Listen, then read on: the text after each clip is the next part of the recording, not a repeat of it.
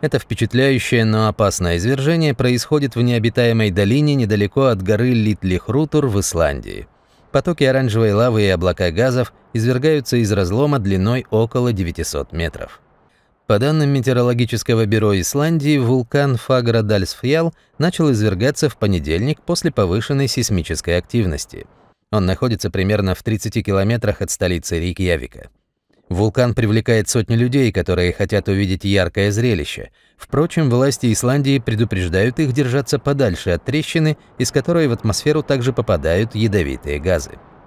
Фагра-Дальсфьял извергался в 2021 и 2022 годах, не причинив ущерба и не помешав полетам, несмотря на то, что находится недалеко от международного аэропорта. Метеорологи говорят, что это извержение изначально было более взрывоопасным, чем два предыдущих – но теперь они считают, что трещина и объем извержения уменьшились. Извержение 2021 года продолжалось несколько месяцев. Все это время из кратера вытекали впечатляющие потоки лавы. Тогда здесь собирались сотни людей. Теперь ситуация повторяется.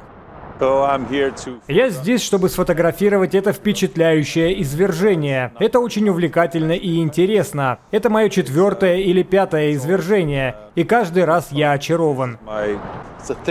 Я вижу такое уже в третий раз, и каждый раз мне нравится еще больше. Вскоре я приеду в качестве гида с туристами. А сейчас я пришел один, чтобы посмотреть, насколько здесь опасно. Но это просто потрясающе.